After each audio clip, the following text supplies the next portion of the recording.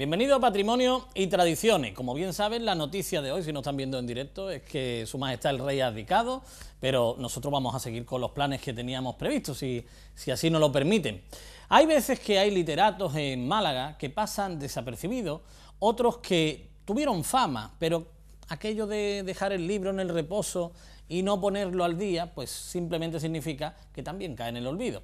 A otro, pues le llega algo más de gloria y pasan al callejero de la ciudad, se les rinden tributo, eh, algunos incluso tienen monumentos. De todo esto, hay veces que necesitamos retomarlo, repasarlo y especialmente valorizarlo, porque aquello de poner en valor, ¿eh? nos dice la, la RAE que es algo incorrecto, así que vamos a intentar decir la palabra valorizarlo. A partir de todo esto, nos vamos a quedar hoy con un personaje en la primera parte para que vean cómo empiezan creando y a partir de ahí se hacen figuras de la literatura y además de Málaga, cuidado.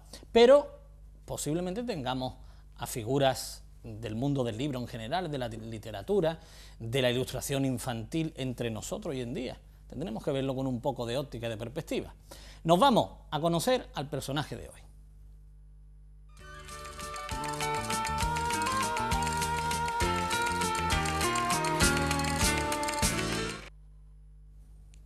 Tienen ahí a Manuel Altolaguirre, lo pueden leer perfectamente, una de esas figuras que indudablemente marca a la ciudad y la ciudad se siente representada por él, en definitiva. Un toma y daca que siempre tenemos que tener muy presente. Más de uno estará pensando, esa calle la conozco yo, está por ahí, por, por las delicias, por ejemplo, ¿no? Bueno, pues todo ello tenemos que componerlo, pero Manuel Altolaguirre hizo bastante más cosas, algunas de ellas muy importantes, y casi, casi, más que irnos a la calle, que podría ser el enclave, nos vamos a ir a donde verdaderamente volcaba sus pensamientos, al enclave.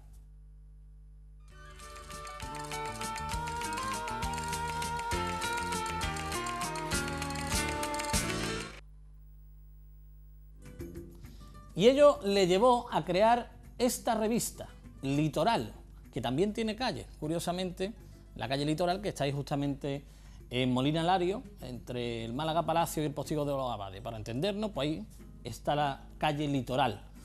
La creación de una revista junto con Emilio Prado eh, no es algo fácil y menos en la época que le tocó vivir, donde los medios no eran como hoy en día.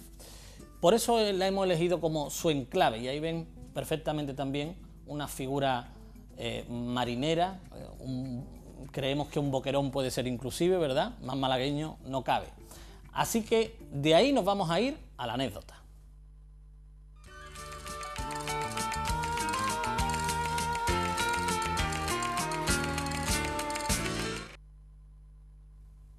La anécdota fue precisamente esa. Tienen ahí eh, el sonajero en la Plaza de la Constitución, aquí en la Plaza de las Vinagas cuando estaba ya en obras, en la barriada García Grana, y ya ahora tal y como está, restaurado afortunadamente, en la propia plaza que lleva este nombre, Las Vinagas. Bueno, pues el sonajero fue bautizado así por Manuel Altolaguirre, era uno de esos elementos que desde 1902 decoraba la plaza eh, de la Constitución y que tiene ya, pues precisamente 112 años, parece que no, pero va pasando el tiempo. ¿eh? A partir de ahí muchas cosas se pueden contar en cuanto a una figura como esta.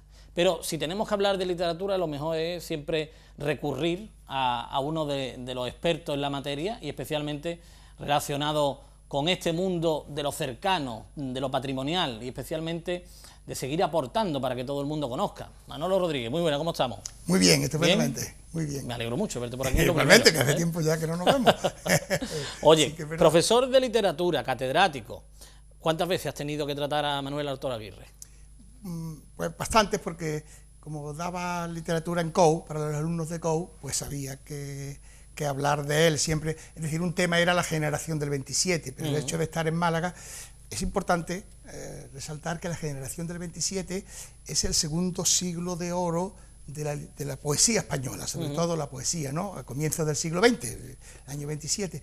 Y eh, la literatura en la generación del 27, en la que están los grandes como eh, Pedro Salinas, eh, Jorge Guillén, Federico García Lorca y, también los, nuestros dos, Gerardo Diego y Manuel Altola Aguirre y Emilio Prados. Entonces siempre, y de entre ellos, yo al menos, pues cuando tenía que hablar de, hablaba de los dos, obviamente, porque el programa lo exigía, pero me centraba un poco más en Manuel Alto Laguirre, porque eh, Manuel Alto Laguirre era un personaje también entrañable, se le llamaba su nombre era Manolito, era un ángel, y era parecido en ese sentido a García Lorca. García Lorca se comenta siempre de que él eh, animaba las tertulias, etcétera, pero Manuel Alto Laguirre también era eh, muy querido por eso, aunque quizá de manera diferente, puesto que también lo que decían sus pocos críticos, que era demasiado que estaba fuera de la realidad, ¿no? que era un niño.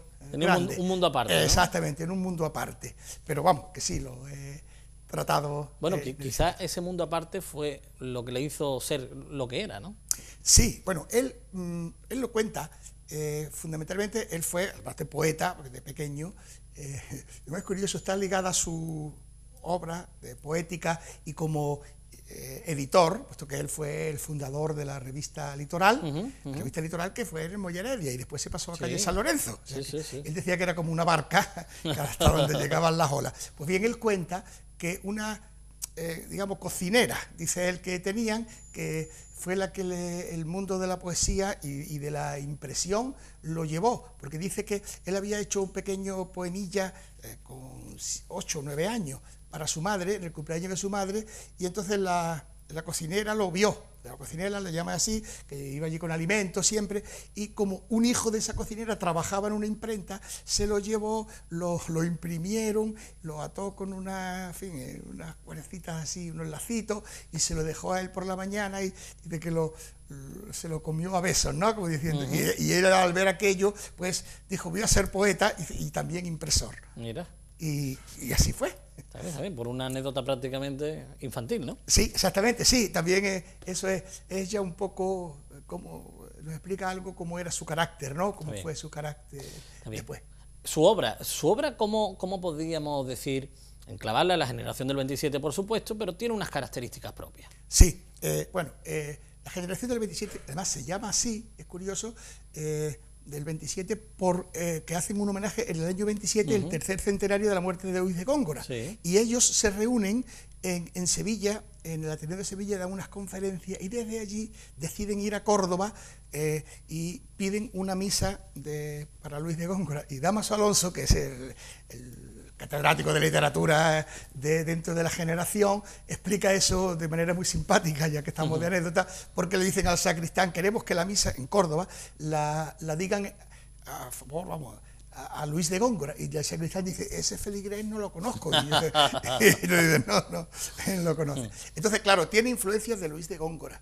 Luis de Góngora es el poeta de la metáfora, ¿no? Se dice que es un poeta difícil, eh, yo siempre digo, Ortega y Gasset decía que la poesía es el arte superior de la metáfora y Góngora el maestro superior de la metáfora. Obviamente, Alto Laguirre tiene influencia gongorina, pero también, y él lo dijo, en, una antología de Gerardo mm. Diego, porque esto sí que es muy importante y además fue una, verdadera premonición para la literatura, en 1932 Gerardo Diego, que es uno de los poetas del 27, hace una antología eh, en el que él eh, recoge todos los poetas vivos que él cree que van a ser los más importantes de la literatura. Acertó en casi todo, menos en Juan Larrea. Y, y entonces pone composiciones de los poetas, cinco o seis, de Alto Laguirre recoge 20, y les pide a todos que digan cuál es su concepción de la poesía, qué entiende por poesía. Entonces ahí Alto Laguirre no, dice que aún no, es muy jovencito, no, entonces lo que dice que su influencia, sus poetas preferidos son Garcilaso de la Vega, eh, San Juan de la Cruz y Juan Ramón Jiménez. Y su poesía, mi poesía es la hermana menor de Pedro Salinas. esas son, digamos, sus influencias fundamentales. Si yo eh, he elegido algunos poemas, por ejemplo, de, sus libros, en el primer libro suyo... Antes, antes de, leer el poema. Sí. Han escuchado parte de la biografía de Manuel Alto Laguirre. Le hablamos de la calle. Ah. Si son de la zona, ¿cuántas veces habrán pasado por la calle Manuel Alto Laguirre sin saber quién es? ¿eh? Eh, vendría bien una descripción sucinta, dos líneas, un letrerito, cualquier cosa, para que eh, los malagueños pudieran saber, al lado del rótulo del personaje, ¿verdad?, quién era, porque si no es que, desgraciadamente, hay cosas que no vamos a aprender nunca.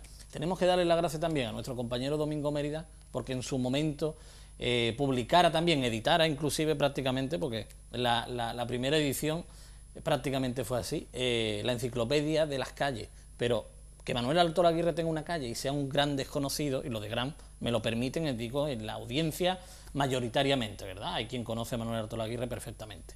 Pues ese es el proceso que necesitan de hacer cada uno en la calle que les toca, ¿no? Saber de quién estamos hablando. Exactamente, exactamente. Sí que es verdad, además hay muchos poetas o muchos nombres bastante, en la calle, bastantes nombres que... Que pasan desapercibidos. Muy desapercibidos. Y ya si le ponemos un poema de los que va a poner al lado, ya, ya entonces ya le sí, sí, sí, sí. Bueno, eh, lo del poema es por decirte, por ejemplo, uno muy cortito, de su primer libro. Su primer libro eh, se llama Las Islas Invitadas, y, otros poemas. Y ahí se ve la influencia de Góngora, aunque yo diría más que casi parece una greguería de Ramón Gómez de la Serna. No, pero el poema se llama Lluvia, es muy corto, tiene tres versos, y dice, el cielo se ha despeinado, su melena de cristal se destrenza en el sembrado. Pero, eh, eh, hay un mundo eh, de imágenes ahí. En, repito, porque es la lluvia. Dice, el cielo se ha despeinado es una manera de explicar la lluvia. El cielo se ha despeinado y continúa. Su melena de cristal, ¿se entiende? El cielo se, se destrenza en el sembrado. La propia cortina de agua. Exactamente, que es la melena de cristal, puesto que el agua, la lluvia, ¿no? Se destrenza, claro, se, se esparcen los pelillos que iban muy juntas en el sembrado. Obviamente que, puesto que con la lluvia surge la hierba, en fin, eh, eh, lo que hace que el sembrado, lo que se ha sembrado, pueda germinar y que nos dé el trigo o, el producto de la siembra. Pero indudablemente parece una greguería. ¿eh? Exactamente, sí, por eso eso lo digo yo. Se que, la pone a comer de exactamente, y, también. exactamente, y podía ser de él. Después, él, otra de las influencias esas que hemos dicho, él escribió una una biografía de Garcilaso de la Vega, que Garcilaso también es, mi poeta ¿Preferido? mi poeta preferido, uno de ellos. Yo soy especialista, como tú sabes, en el siglo de oro, ¿no? Lo que pasa es que también en la literatura contemporánea.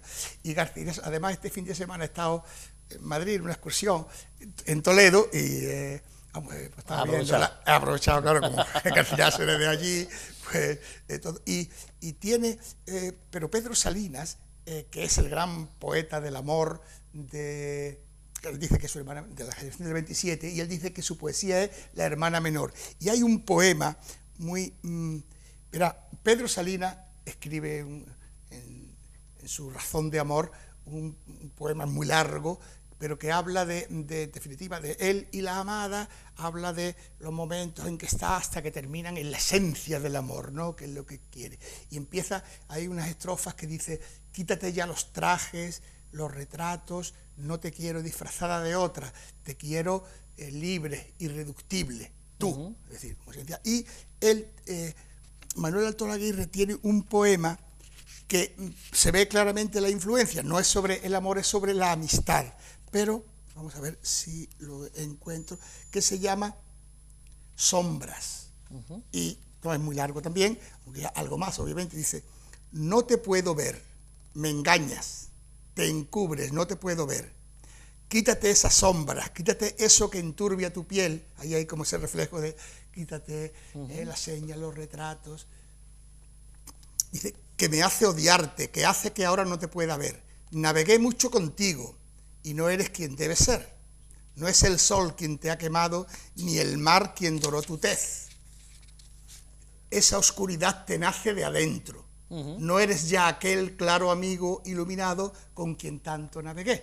Se está hablando un poco de la sombra, de la pérdida de la amistad y, de la oscuridad, ¿no? Porque eh, Alto Laguirre es un poeta intimista también, ¿eh? es decir, es la expresión de, del yo interior. Está claro. Además, ha quedado clarísimo en, poemas de, de, ese tipo, queda claro. Hay veces que, y lo sabemos, ¿eh? que tratar la poesía es duro para más de uno, pero es necesario tratarla, porque si no fuera por la poesía, la vida sería todavía más dura de lo que es, ¿eh? para, para, muchos. Hay eh, una importancia vital en que entendamos cómo se puede navegar por el campo literario, que más para más de uno es algo tedioso, el, embarcarse en decir, ay, me voy a poner a escribir, o me voy a poner a organizar un texto, o y al final disfrutan, ¿no? Pero mm, incluso tú que tienes experiencia con alumnos, eh, ¿Por qué se le teme tanto a los comentarios de texto, a la literatura en sí? Sí, bueno, sí, eh, yo creo, hombre, la poesía es como el, licor ese de muchos grados que ha de tomarse el licor a, sorbo, a pequeños sorbos, pequeñas cantidades, la poesía también a la hora de leerla y disfrutarla es a pequeñas cantidades, poquito, un poeta que te guste, a empezar por unos también, eh, es importante que se explique la poesía y así empezará el gusto por la poesía. Pero siempre con novelas se puede, uno una novela que le engancha, pues se la lee seguido, tres, cuatro horas, está, una obra de teatro. Sí, cuando son niños, adivinanzas con rima. Exacto, sí, eso es. Y después ya cuando son más mayores, bueno, que se la expliquen, pero con la literatura ha pasado como con las matemáticas. Las matemáticas las daban los químicos y ya está. Y ya está. Pero bueno, ahora ya la daban los matemáticos, pero no hay manera de, crear el amor por... Y, la literatura está pasando igual, que hay, no quiero decir que mis compañeros profesores sean menos buenos, pero la poesía no, no termina, le dedican más tiempo más a la novela, al teatro, y también eso hace que salgan buenos lectores en los alumnos, mm. pero tengan ese temor a la a la poesía. ¿Y la sociedad en la que vivimos trata bien a la literatura en sí? Bueno, eh, bueno regular. regular. Eh, y, ahora que dice, eh, he recordado una frase de este caso de, Emilio Prados, compañero de Manuel Alto Aguirre, con los que fundaron la revista Litoral, que, claro, cuando llega la guerra civil, más o menos dijo él, poesía, lo que nos queda es la poesía, como diciendo, vamos, ensalzándola. estos poetas del 27 vivieron un poco para la poesía. Era, por eso también cuando dice Alto Aguirre que su, su mentor era también Juan Ramón Jiménez, Juan Ramón Jiménez es aquel que había escrito también a la, a la inmensa minoría, porque ellos decían que la poesía había que, que, tener unos conocimientos, una base, una cultura para poder entenderla. Después de la guerra, Blas de Otero, el otro gran poeta, eh, que tuvimos después de la guerra, escribió un libro precioso de poemas que será a la inmensa mayoría, ¿no? Ah. Eh, como diciendo, pero claro, de Juan Ramón Jiménez le achacaron, cuando llegó la guerra, que él estuvo eh, en su torre de cristal, es decir, dedicado a la poesía y no estuvo en, los problemas sociales que hubo. Alto Laguirre sí, como que todos los del 27 vamos, estuvieron con la República, incluso él... Claro, es que les le cogió una etapa donde de unos cambios muy compulsivos. Sí, sí, ahí tuvieron que mm, decidir uno u otro. Bueno, decidir, y sí, eh, más o menos habían decidido, y él decidió con Alto Aguirre, curioso porque Manuel Alto Aguirre tuvo su hermano Luis, lo, fusilaron en Málaga el 22 de agosto, o sea, desde el 36. Es decir, que, que eh, acabada, empezado el alzamiento, eh, lo fusilaron y además es curioso que unos meses después eh, él vino porque durante la guerra, como a Lorca lo habían asesinado, pues él dirigió la barraca. La barraca era el grupo de teatro, la compañía de teatro que había fundado Lorca, iba por las ciudades y él vino aquí eh, con la barraca y fue muy aplaudido por los mismos que habían asesinado, vamos, fusilado a, su hermano por el hecho de que eh, decían que era de derecha y, y aún siendo su hermano, lo, es la primera saca que hicieron aquí en Málaga, en el cementerio de San Rafael. Y después, es curioso, después porque él tenía dos hermanos, mm, que se llama, bueno, se dicen en el lenguaje popular, medio hermanos, pero que son hermanos de un vínculo, hermanos de padre, eran la Aguirre, pero no eran de, de su madre. Y, y, a Federico lo, también lo fusilaron eh, vamos, porque era militar, era militar y era amigo de Franco. y, después él, él, al terminar la guerra, que se fue a, a París y, estuvo antes en un, en un sanatorio, estuvo a punto de perder la razón y, estuvo en un campo de concentración y curiosamente Picasso, que eran amigos y, en aquellos tiempos fue el que le pagó el viaje para irse a Cuba. Se fue a Cuba y desde Cuba pasó a México. Y ya en México es cuando se hizo cineasta. Que esa es una parte también muy desconocida para nosotros. Exactamente, muy, muy desconocida en general de, Manuel Alto Aguirre. Él, eh, cuando ya llegó a México, eh, él se fue, se había casado con Concha Méndez, que era una poetisa, eh, y, tuvo dos hijas. Y, pero después él, cuando se va a México, se, separa de ella y se casa con una cubana, María Luisa Gómez, se llama, que, que había conocido en Cuba. Y esta era una millonaria cubana y, con, como a él le gustaba lo del cine, ella a veces también, por eso decía que él era como un niño porque se gastaba el dinero allí a puertas, ¿no? Eh, lo que le gustaba era la creación y eso. Y yo decía, bueno, que yo era millonaria, pero ya era, era, era. Era, exactamente, exactamente. Y él hizo, eh, más curioso porque era, mm, él eh, sobre todo eh, una obra que él fue el guionista, el que la hizo subir al cielo, y le dirigió Luis Buñuel, que fue también un gran amigo suyo. Y después, eh, él, una obra que él y lo hizo todo, el guion, la dirección, que fue El Cantar de los Cantares, sabéis que es un libro de la Biblia, se atribuye a Salomón, pero del comentario que hizo del Cantar de los Cantares fue Luis de León. Entonces hizo una película y la, trajo aquí a, España, ya estamos hablando del año 1959, ¿eh? ya al final de su vida, puesto que él, se hace cineasta a partir de 1944, pero sigue escribiendo poemas. ¿no? Bueno, pues te digo, esa, esa película la trae al Festival de San Sebastián, pero no entra en la sesión normal de... Y entonces la estrenan allí, pero en sesión aparte. Y curiosamente, cuando venía de, del estreno, esa noche viniendo de San Sebastián a Madrid, porque ya vivía a Madrid, él está exiliado, pero en el año 1950 ya viene a España.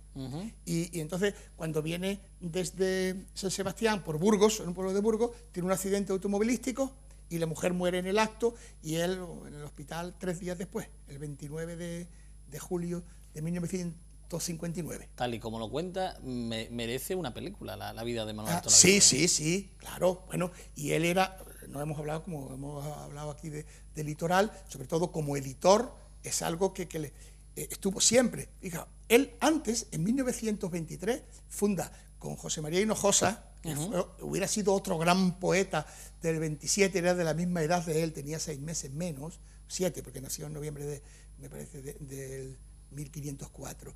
José María Hinojosa, que tiene bastantes libros, lo que pasa es que murió, igual, eh, murió junto, vamos, lo fusilaron junto con el hermano, con Luis Alto Laguirre. Eh, pues vamos, con él fundó la revista, la primera revista Ambos. Y nació en 1904. Sí, Alto Laguirre en 1905 y Hinojosa en 1904. Era de Campillos, pero se vino a Málaga, estudió en el colegio, todas esas cosas como, eh, habrá que hacer algo así de Málaga, en el colegio del Calle de Victoria, ¿eh? que ya no está, ¿no? Bueno, lo que te decía es que fundan esa revista Ambos, que ellos decían, ambos somos tú, como yo y tú, querido lector, ¿no? Eh, después, en 1926, funda Litoral con Emilio Prados. Y en 1927 se une Hinojosa a, Litoral, y como director, o sea que lo siguen siendo ellos, y ahí publican todos los grandes poetas del 27, publica Litoral. Málaga, que en la, la historia de la literatura no era casi nada, puesto que no tenemos en fin, Sevilla dentro de Andalucía es la que ha dado más poetas siempre, ¿no? Desde, desde, el siglo XVI y XVII. Málaga, cuando se hace muy famosa en todo el mundo, no solo en España, eh, es por la revista Litoral, porque ahí publican todos. Además, como hemos hablado de la influencia de Góngora, en, la, última de la primera etapa de la revista Litoral se publica en octubre de 1927. Y en esa, en esa eh, es la portada es un bodegón de Juan Gris, que en aquel tiempo Juan Gris es poeta cubista. Y de Picasso también sí, Sí, no, verá, Picasso mucho. Ahí mismo hay un dibujo de los importantes de Picasso en ese homenaje. Y, y después, la, la, siguiente etapa, a partir de 1929, Picasso siempre, ellos le mandaban la revista, cuando Picasso se va a Francia, Picasso y tiene una serie de dibujos, se han publicado, esa revista litoral de la primera y segunda época, se han publicado en facsímil. Y mm, mm, Garcilaso, eh, perdón, Garcilaso, eh, Picasso mandaba unas dedicatorias, todas en cada número, en cada revista, con un dibujo suyo y, dedicado. y eso es dedicado a la revista. Bueno, pues seguiríamos, pero lo, que nos quedamos es sin tiempo, pero valga, valga estos minutos que hemos dedicado al Alto para refrendar sobre todo la trayectoria y especialmente ensalzarla. Y hay veces que decimos, la revista litoral existía, incluso existe. ¿eh? Sí, sí, porque hay una, nueva, etapa exactamente. Que, que, es heredera, evidentemente, del, nombre y, y, por supuesto, también de esa línea literaria que tenía desde origen y que algún día trataremos también en profundidad con, los propios editores del siglo XXI, ¿eh? porque merece la pena que, este mundo de la literatura continúe vivo y además dentro de la sociedad normalizada, ¿no? que no sea algo exclusivamente eh, para un sector, sino que sea popular, es indudablemente una garantía de, vida. ¿no? Claro, y además la última etapa de la revista Litoral publican muchos poetas y hay muy buenos poetas malagueños. ¿eh? Pues don Manuel, muchísimas gracias ¿eh? por haber estado con nosotros, por habernos instruido, por habernos enseñado esas tres facetas de un personaje que en principio eh, entendemos que es un literato, pero al final es dramaturgo y también cineasta. Exacto. Con lo cual, esa composición global... sobre todo impresor y editor, ¿eh? él le encantaba la, la revista. Fíjate que estuvo en Inglaterra y un año viviendo y eh, publicó una revista allí. Eh, que se ¿Dónde llamaba, iba publicado? Sí, sí. eh, eh, creó la revista y la publicó, se llamaba 1616, porque es el año que murieron Shakespeare y Cervantes. Cervantes. Y entonces, El los 23 de abril, ¿no? exactamente. anglo, hispano, hispano-inglesa. Está bien, está bien, está bien. Sí, sí. Bueno, pues lo, lo dicho y porque no tenemos tiempo, que si no seguíamos. Muchas bien. gracias. A ti. Bueno, pues ahora vamos a ver cómo ese mundo de la edición, eh, el mundo editorial, sigue vivo y además con autores actuales y de Málaga. Eso es importante. Ese patrimonio se constituye de principio a fin. ¿Cuán- ¿Cuándo es el fin del patrimonio? Hoy, posiblemente, porque estamos guardando el de mañana. Es decir, esto es un no parar. No hablamos en ningún momento de algo que no nos pertenezca a todos. Así que tenemos que seguir cuidándolo y sobre todo a lo que se va generando, verlo en su justa medida. Volvemos enseguida.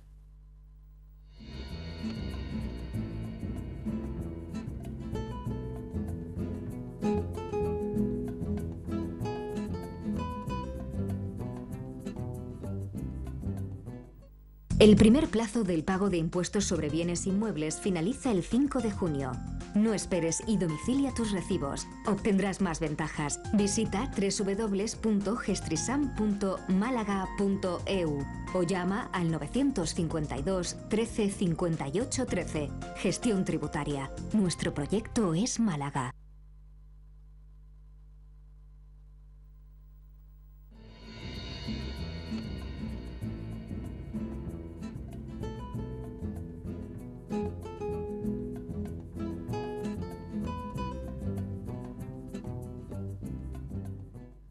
Están heridos o se han quedado huérfanos. Pero ella ha decidido darles una segunda oportunidad. Natura te trae la entrañable historia de Hope que rescata, cura y libera en la costa este de Canadá más de mil animales al año.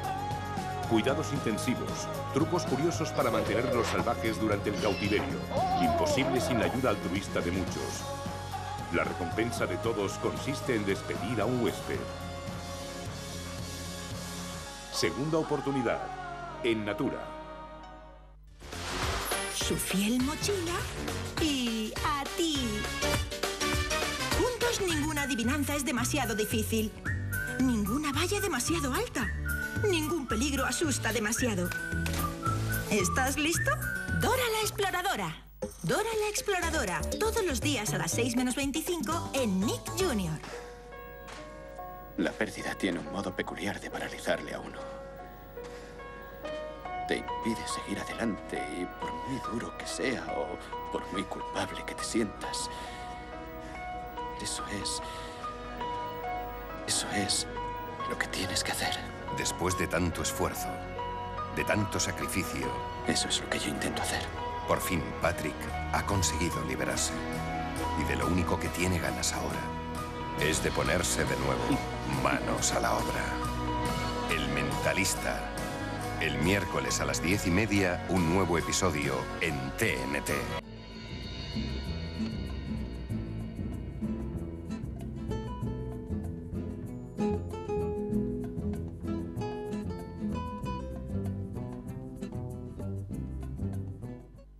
Conciliar estos dos aspectos de la edición y la literatura no es fácil. ¿eh? Hay personas que se atreven incluso y le añaden un tercer factor que puede ser el de las ilustraciones. Hablaremos de ello y hablaremos porque son actualmente personas que están en, en la materia.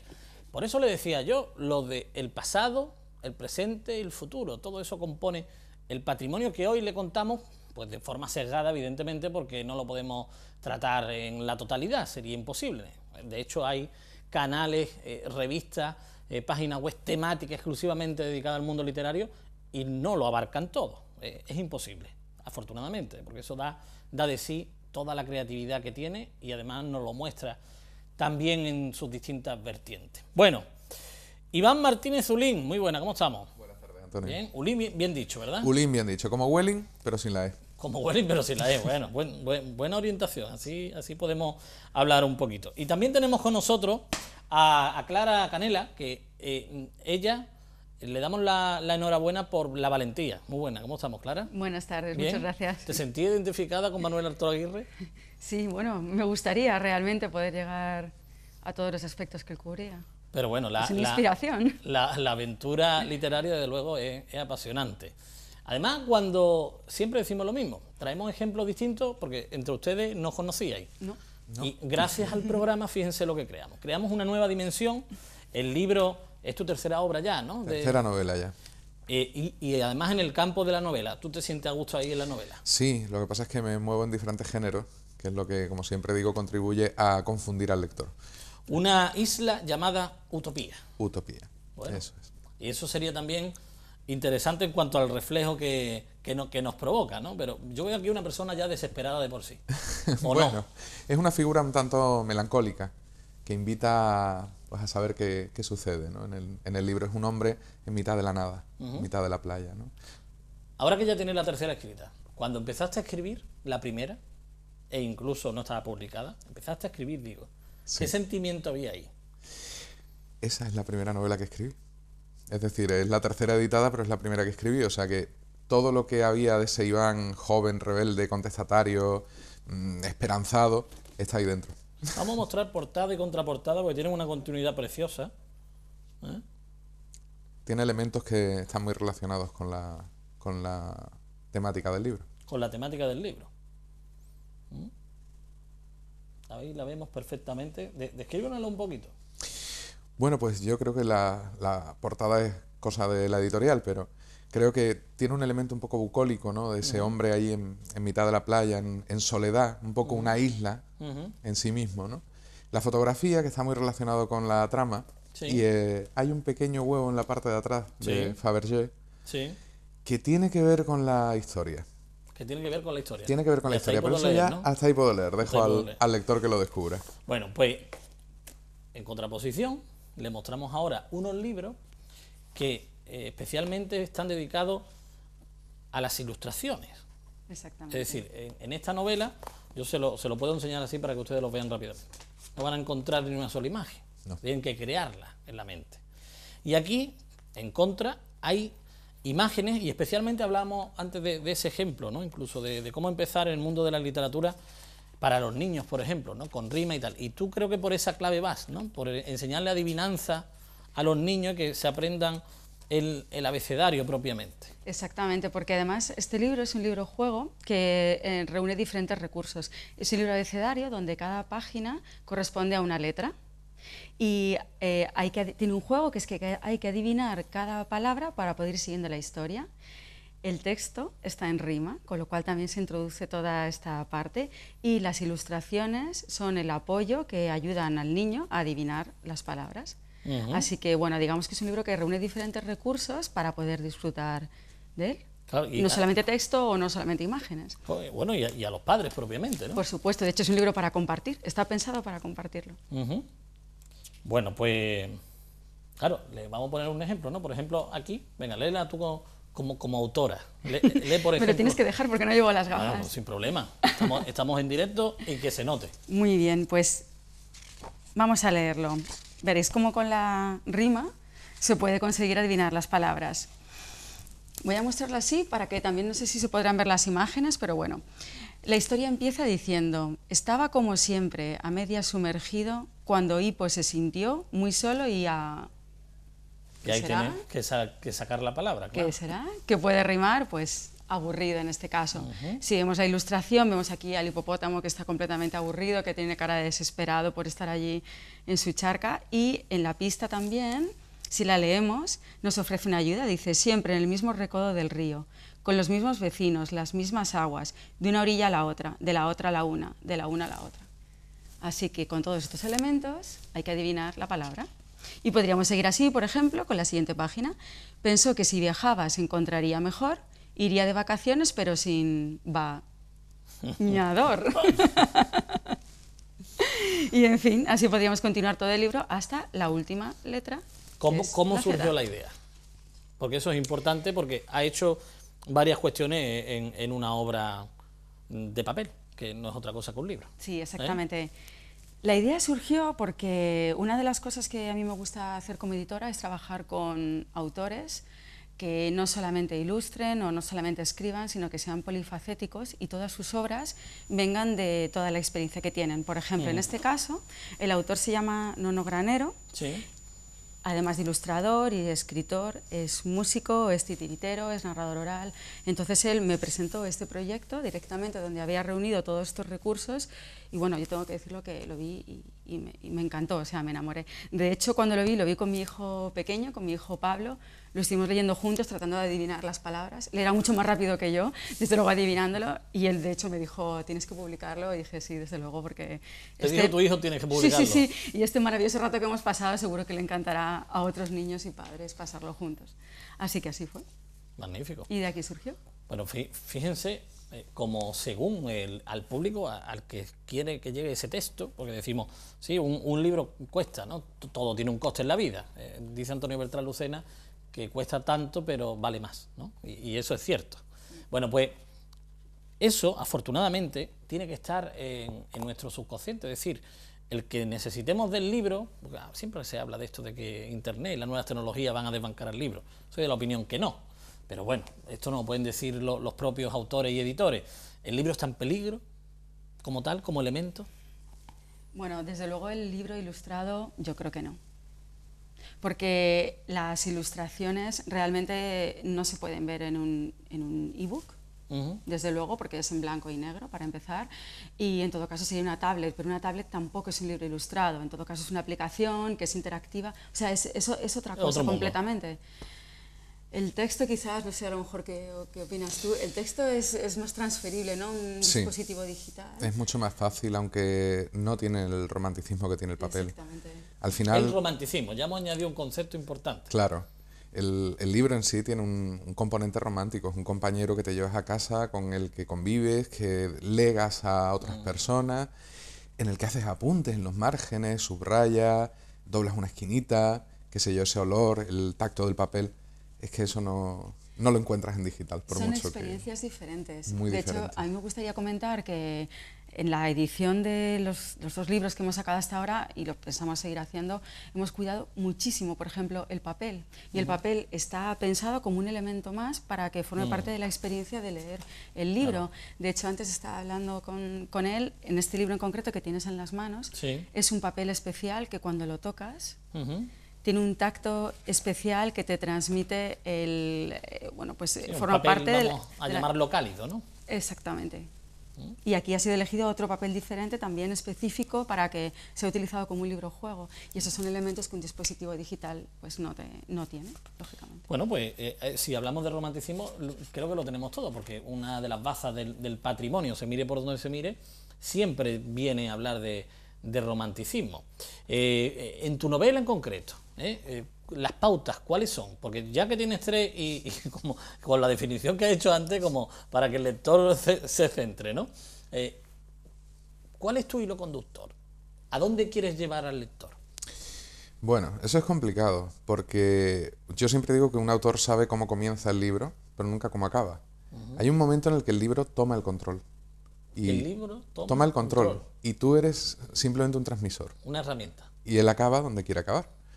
Es quizás una idea también romántica, pero puedo asegurar que es cierto.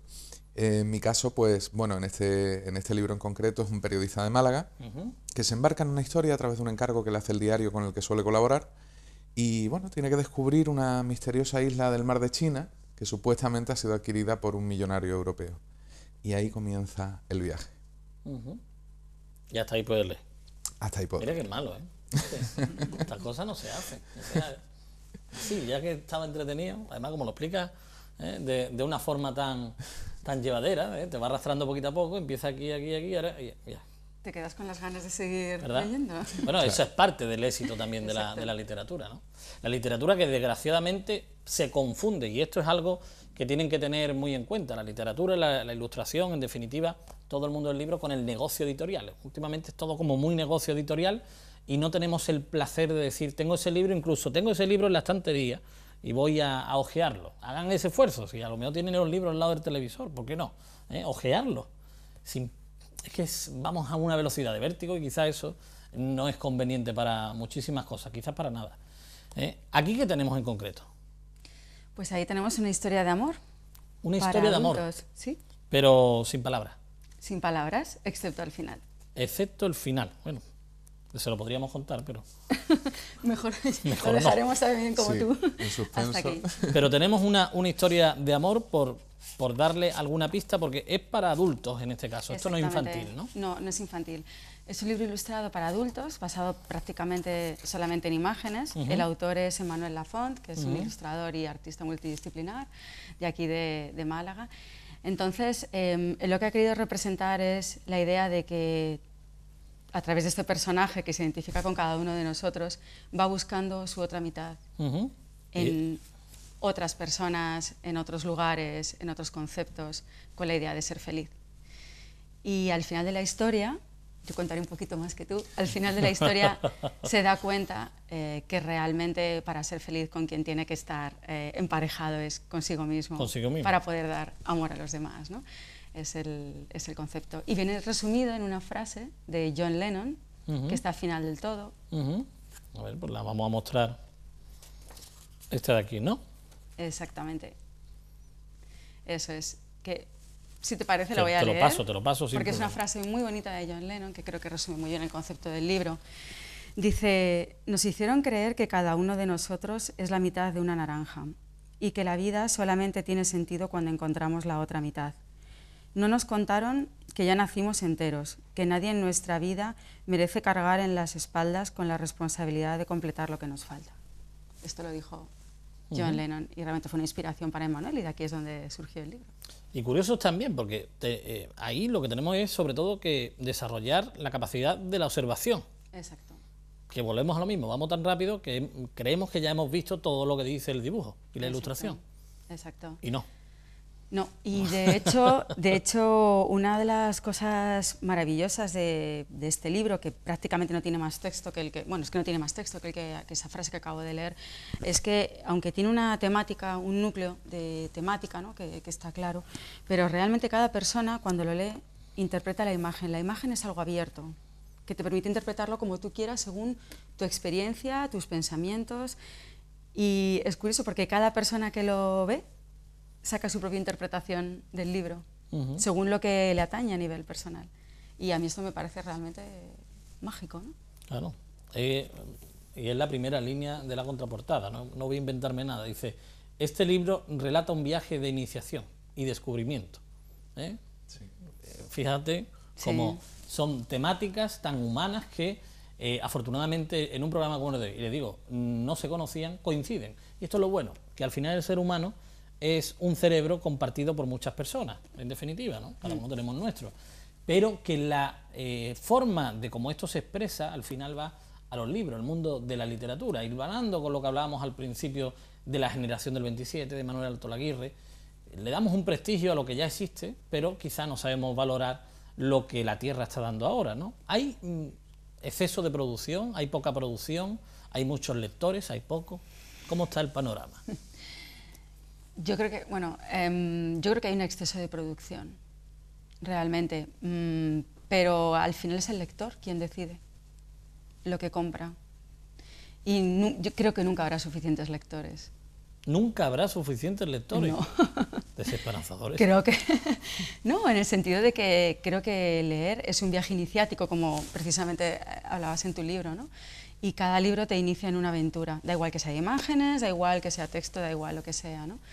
Em, entonces creo que nunca leemos lo suficiente en el sentido de que no dedicamos suficiente tiempo, eh, por desgracia hoy en día, Por ¿no? ahí sí, por ahí. a nutrirnos de esta forma, sí. ¿Tenemos mucha producción? Yo coincido. Creo que es, hay menos lectores que libros editados. Y eso es peligroso, porque se confía en la autorregulación del mercado y en que el lector sea el que llegue al libro. Cuando digamos que es un, un poco falso ese tema. Las librerías, los distribuidores juegan mucho con el bestseller. Por lo tanto, hay libros que pueden ser una auténtica joya y se quedan en el trastero. Ujú. Y eso es una pena. Bueno, pues tengan ustedes y hagan su- sus conclusiones. Y los bestsellers tienen también una política tanto de iniciación como de fin, ¿no? ¿Eh? Que ahí, desde luego, estamos hablando de... Eso sí que es la industria ¿no? Mm, editorial, la, la que mueve los bestsellers. Sin embargo, hablamos de otro tipo de obras y que no son ni conocidas y, sin embargo, componen partes esenciales de, de ese patrimonio. Bien, eh, eh, proyectos de futuro seguro que hay. Y tenemos como cuatro minutos para que me contéis cada uno los vuestros. Insuficiente. Así que vamos a sintetizar. Bueno, yo tengo todavía más libros en cartera y estoy trabajando en nuevas novelas, así que creo que tengo todavía por delante un camino. Creo que la editorial también está interesada en reeditar mis dos obras anteriores y después de eso empezaremos con, con los que están ahí todavía esperando, esperando su momento.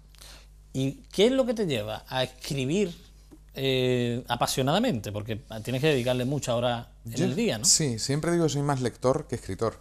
Creo que es muy importante además consumir más libros de los que, de los que produces. Y en cada momento, Antonio, ese es uno de mis problemas, que soy un escritor muy camaleónico, porque escribo en cada momento lo que me apetece y lo que creo que tengo que escribir. Eso es bueno también, ¿no? Bueno y malo, porque confundes a los lectores, que muchas veces leen un libro tuyo y a lo mejor piensan que todos van en la misma línea y cuando se encuentran con un libro totalmente diferente, a lo mejor se desencantan. Bueno. Pero bueno, es mi manera de escribir, no, no lo puedo evitar, es mi, mi forma. ¿Tú, Clara, en tu caso? Pues preparando un tercer libro que saldrá después de verano y buscando un cuarto, quinto, sexto. eso es interesante. La, temática local, ¿la, preferís para identificar los contenidos de, la obra? En mi caso sí. Yo siempre... Es raro que no se mencione Málaga en un libro mío. O, transcurre en Málaga, o comienza en Málaga, o pasa por Málaga. Y me parece que es importante además. En mi caso no, son temáticas universales. Universales. Mm. O sea que valen para cualquier parte del mundo. Sí. Interesante también, así. Pero está hecho aquí, en el fondo es una forma de, hablar de Málaga, ¿no? De algo que, se hace en Málaga. Lo que sí que me gustaría comentar es que lo que sí que estoy haciendo es trabajar con profesionales andaluces. Sobre todo de Málaga, en este momento, tanto a nivel de diseño como a nivel de autores, y me encantaría poder seguir haciéndolo mientras pueda, porque en Andalucía hay muchísimo talento. Claro que sí. Bueno, ¿y, tú vienes de...? Madrid, originariamente. Originariamente, pero ya se ha hecho. Malaqueña adoptiva, aunque no me hayas oído en el burrito. esto es, se va a subir en platero, en cuanto salga el programa es que lo tiene pendiente ¿no? no se ha subido en platero, pero eso está arreglado. Vamos, nos vamos ya para el parque, ¿eh? eso es interesante. Muchísimas gracias a los dos por haber estado con nosotros, por haber compartido parte de ese trabajo diario que lleváis y que evidentemente son muchas cosas las que se pueden contar, ¿no? en imágenes, en texto, las que se pueden sentir. Y esa es ya la parte del lector, ¿no? que le mete su propia cosecha a, la obra que tiene entre manos. Pero si se fijan, y hemos elegido hoy un autor del 27 y hemos terminado con autores del 21. ¿Por qué? Porque es importante que ese concepto lo tengan y que vuelvo a decirle, en muchas ocasiones me dirán, ay, es que esto puede ser caro, lo tienen en la estantería de su casa seguro. La librería que tienen ahí, esos cuatro o cinco libros o 400 según el caso, siempre hay algo con lo que poder empezar a redescubrir. Y de esa forma seguimos creciendo todo. Así que aprovechen, aprovechen el tiempo. Muchas gracias a los dos por la presencia. Gracias a, a vosotros. Gracias. Nos marchamos. El próximo lunes tendremos más y seguiremos avanzando en el mundo del patrimonio y de las tradiciones, evidentemente, porque hay muchísimo que contar y son muchísimos los aspectos. Hoy nos hemos basado en el campo de la literatura, del texto, incluso de la ilustración, para que tengan muy presente y en cuenta que al final, de alguna forma, hay que recoger el conocimiento y por muchísimas vertientes. El próximo lunes a las siete y media, Patrimonio y Tradición. Hasta la próxima.